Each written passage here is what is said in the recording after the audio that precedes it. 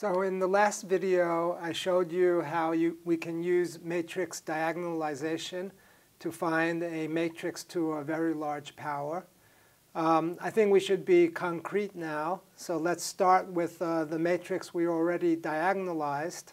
And let's uh, compute that matrix uh, ABBA then raised to some arbitrary uh, large power n. So n can be anything we want, 1,000, 2,000.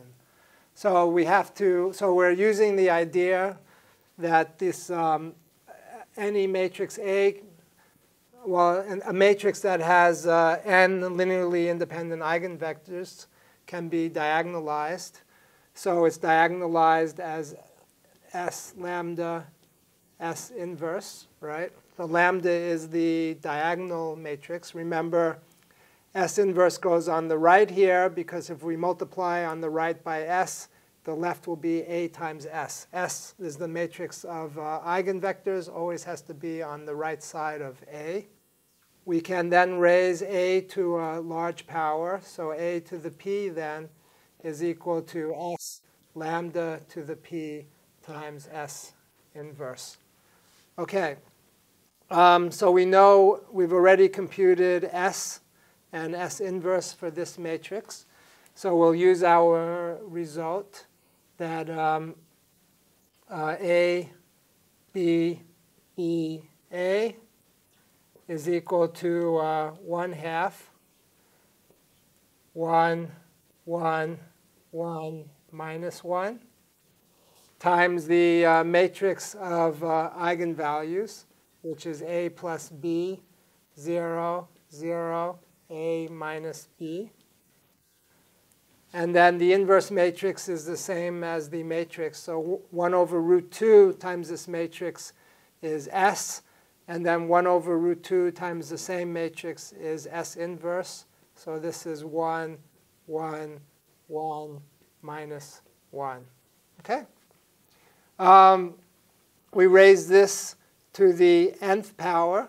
So all we have to do to raise this matrix to the nth power is raise this eigenvalue matrix to the nth power, which is the same thing as a plus b to the nth, right?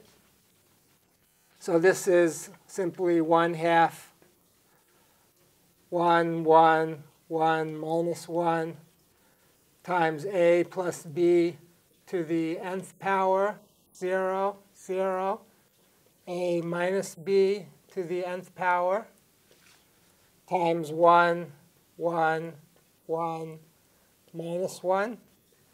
Now we just have uh, um, two matrix multiplications to do, so we can uh, go ahead and do them. So let's do this one first. So we have 1 half 1, 1, 1, minus 1. And then uh, a plus b to the nth.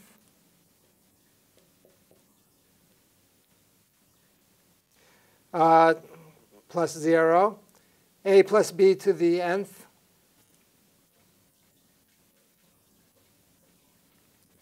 Uh, plus 0. 0, a minus b to the nth. And 0 minus a minus b to the nth. Okay?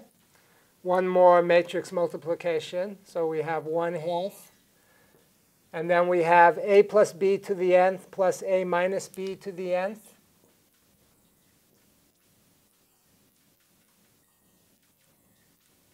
as the first element. And then we have a plus b to the nth minus a minus b to the nth.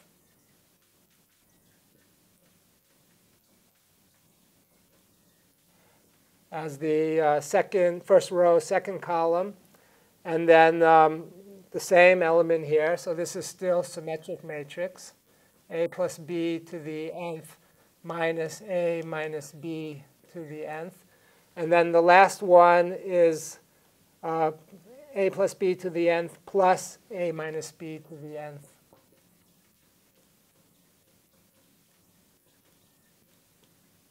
Okay?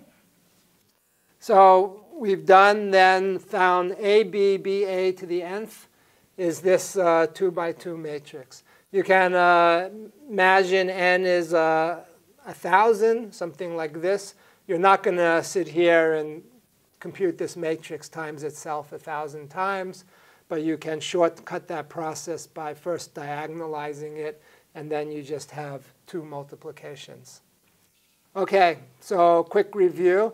To find uh, a diagonalizable matrix raised to some uh, integer power, some large power, you diagonalize the matrix, and then you raise it to a power is just the same thing as raising this diagonal matrix to a power, which is simple to do. It's just the diagonal elements raised to, the, to that power. And then with two multiplications, you can get the final result. I'm Jeff Chasnov. Thanks for watching. And um, I hope you now uh, understand the, the power of matrix diagonalization.